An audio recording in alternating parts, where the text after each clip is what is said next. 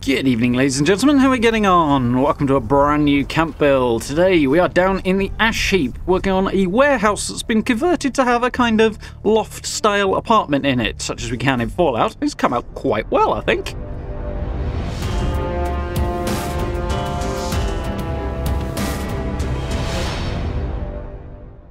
Yeah, this one uh, gave me a few headaches, but I'm quite pleased with how it's come out. Building a loft-style conversion in uh, Fallout can be quite difficult. The game doesn't really facilitate that in a way that's going to look good, but I've sort of got the vibe going and it looks quite cool, I think. So let's have a look at where we are. Right down at the bottom of the ash heap today. There's our little warehouse-type camp. There's Welch Station. We're just behind the Overseer's house, which is about here.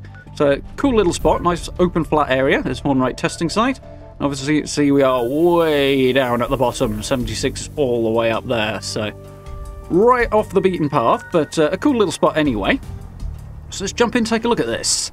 So I've got the first foundation in, as uh, this ground is not quite as level as it looks, and these little bits of metal here kind of get in the way. So I had to put them in, take them out, put them in, take them out over and over. But we have now a 4 by 6 foundation, and because we're building a warehouse, we're running into a couple of challenges here. That is, making it look like a warehouse requires a certain amount of size to it. And this is somewhat modelled on the Buxton Beer House up at the Sons of Dane compound, sort of similar shape to that. But um, obviously, building big, as I've said before, it's hard to make that look complete and fully decorated and basically have it come out well without it uh, looking either kind of Spartan or way too big. So um, it's a bit of a challenge on this one, but it's come out okay. It's about as small as you can go to have a warehouse still look like a warehouse without being uh, sort of too small, but also without having it too hugely large as well. So as you see here, we've got some simple walls just around the outside of the foundation here, leaving the front entrance open, closing up the back here. Got a set of roofs here just coming in over the first set of foundations, and then some half walls on the top that will just lift that center section of the roof up a little higher so that we've got that warehouse vibe and also room to put a loft in it. Kinda. so let's close up this last bit of the roof. This is dead simple to do. It's uh, just a simple snapping job for now to get the main structure in place. The complicated bit will come in a moment. so we're going to close up this back edge. Yeah.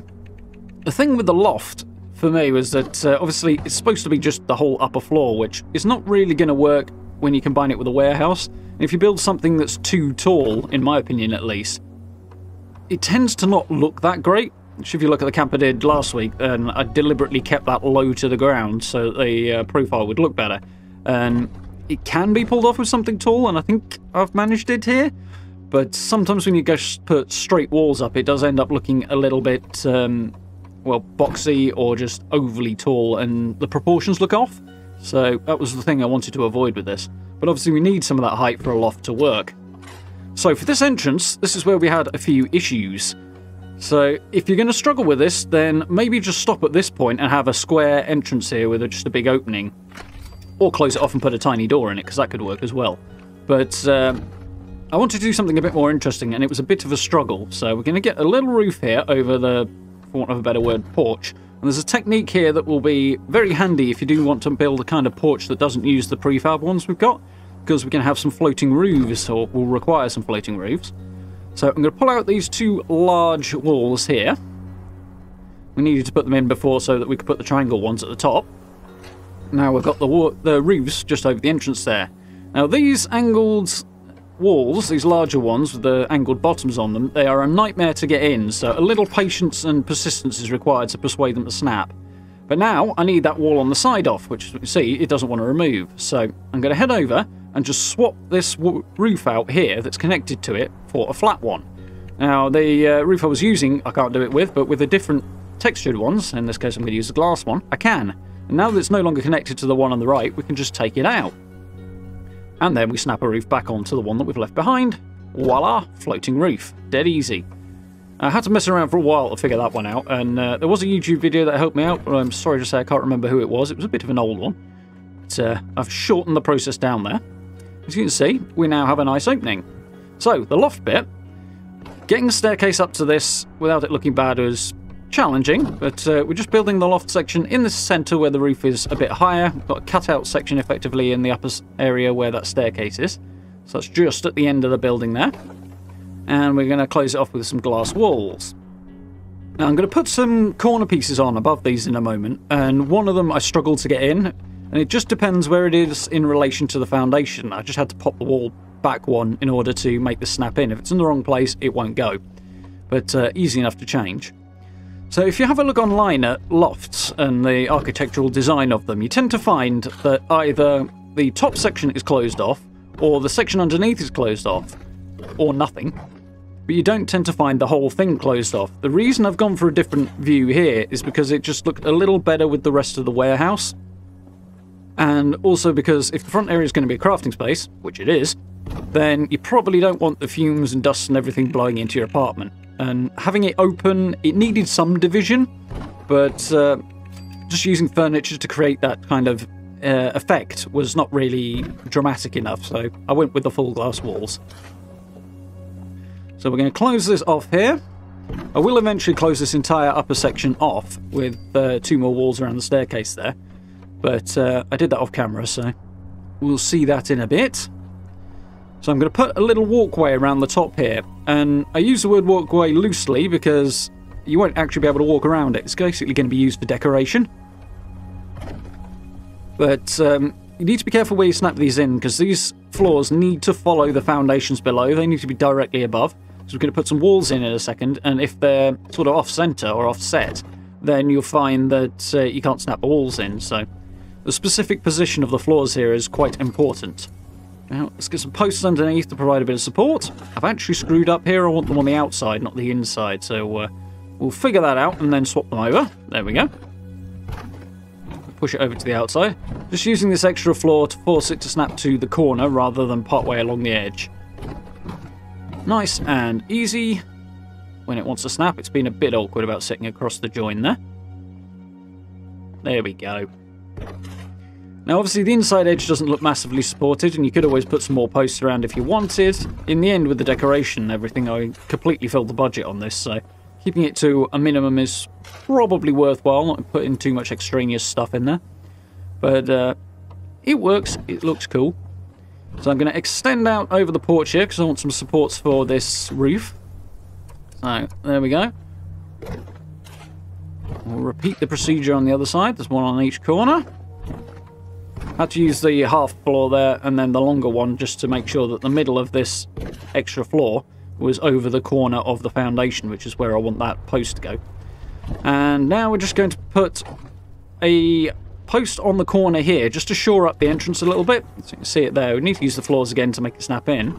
I can now snap the wall back in because it's right on the edge. If it was part way along, the wall wouldn't go in. It also wouldn't look right, so there's that too. But just a case of move the wall out of the way, extend that floor over a little bit, stick this one off to the side so that we can snap onto what is effectively the corner again. Come on, there we go. Post in, now take those back out, shove that wall back in. There we go. It's quite a simple structure really, there's a couple of bits that are, as I say, a bit of a pain. Getting that arch over the door was the real challenge, and uh, yeah, you do need those roofs in first. So if you want to do something similar, do check out uh, that section again and uh, follow the build order carefully, because otherwise it can be kind of awkward. But last couple of little bits to polish this up, and I think we are about ready to head off and decorate this place. So I will see you in the tour in just a moment. Much decoration later. Let's have a look around this place. So a few little bits outside. I've got some crops there, mostly for doing daily challenges, because I've kind of moved away from using them. The Collectron's also stuffed right at the back there. That's the Overseer's house on the left. A few little bits of decoration at the front here. You could put the stairs on the front if you wanted. I fancied having them around the side. If you put them on the front, they won't meet in the middle unless you use the wooden ones. Um, those would look out of place on this, so I put concrete stairs on the sides instead and close up the front edge to give me somewhere to stand and shoot should any of the mole miners come up from Welch. And we've got a couple of punji boards just to keep them out of my crafting space at the front here. so, fairly simple little design on the front. As I say, we're absolutely crammed up to the budget here, so uh, no room for anything extra. Loads and loads of detail, which is really what made the difference here. Because as you saw before, we had a big open space out front here, and filling this up and making it look complete was going to be a challenge.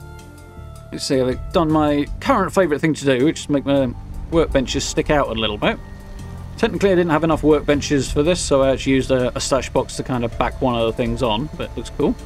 Good little loop around the outside, which is where I've put the vendors. And just to make them look a little bit more full and complete, I've got the Nuka-Cola machine and the milk machine just in between there. The back presents a, a, more smooth surface to the middle section as well if you do that, which is part of the idea. Shelter tucked in the corner. Pop through our decon arch. There we go. Looking pretty cool, I think. I like the lights that run down the middle as well. Quite happy with how that's come out. Loads of stuff on the walls here. Just threw up the uh, all the posters I could find and uh, the scoreboards, stuff like that from previous seasons, just to decorate an otherwise large blank surface and make it look a little bit more ramshackle and a bit more interesting, like somebody's been here a while. Let's head on inside to the apartment part. This is where we kind of struggle to make it look like a loft too much, because most of the apartment's on the ground floor, but the bedroom part does it, which we'll see in a moment. One of my favourite kitchen designs, as always, we have a little uh, struggle to find appropriate kitchen um, furniture, I suppose is the word. We've got the Tipsy Tom set there, providing the work surfaces I've just doubled up on each other there. A little sitting room just underneath the stairs here.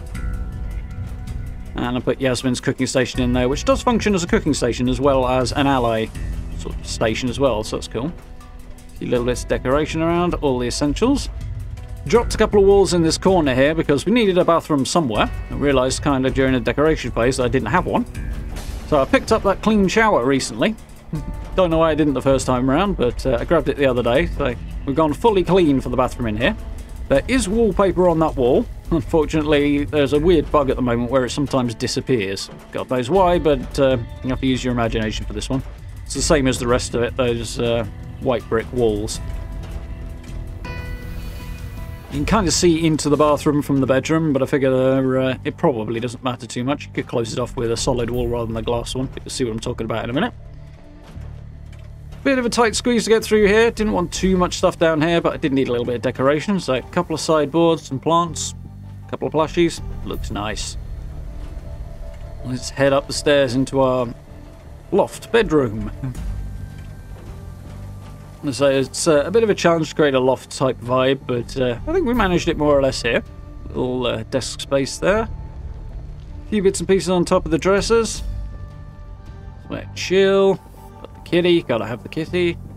And I've used the clean uh, Vault-Tec bed here just because it's fits slightly closer to the wall, takes up slightly less room. It's a minuscule difference, but it does work slightly better. You can see I've added the extra glass walls there, which uh, eh, I think it works. And uh, we've got uh, the doorway here and the wall on the right, which both of which have the big thick bit of metal across the bottom, which uh, I did just to match up with the doorway. It's not ideal. Yasmin's going to get in our way here, so we'll drift on by, head back out to the crafting area. Choosing doors to go in these glass walls is a bit of a problem. There's a wooden greenhouse door that doesn't really look right. There's these security doors which are close, but again, not quite right. It's a bit of a battle, but uh, I think it looks okay the way I went. Little power armor area. Fairly simple. Looks good. I like to have the power armor station sort of pride of place in the center because it's just such a big object. It makes a good set piece. There you go. Loads of little bits of detail. Loads of stuff to look at just to keep the place looking busy and complete.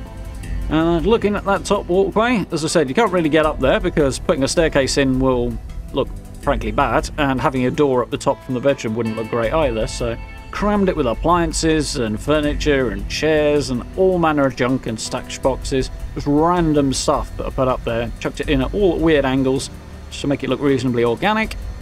Makes the place look packed out. I'm quite happy with how that's come out. That wallpaper, incidentally, I believe is the Brotherhood of Steel one, which I wanted some metal wallpaper on there, but I didn't want it looking too much like the warehouse stuff because the back of those walls doesn't look particularly fantastic. And it's annoying to put stuff on, but uh, pretty pleased with how that one came out. You can see I changed the top uh, set of half walls as well out for windows to let a bit more light in too. But there we go. Do you hope you guys enjoyed that one. I'm quite happy with how this came out. If you did like the video, please do consider dropping subs and likes. I very, very much appreciate it. Do check out social media links, merch store, and channel memberships, all available down below the video as well. If you're interested in supporting the channel that way, it really, really helps out, and I very much appreciate it. And if you get a chance to join us for live streams as well, we are of course playing Fallout 76 and continuing with Control. So, for now, thank you very much, and I look forward to speaking to you all very, very soon.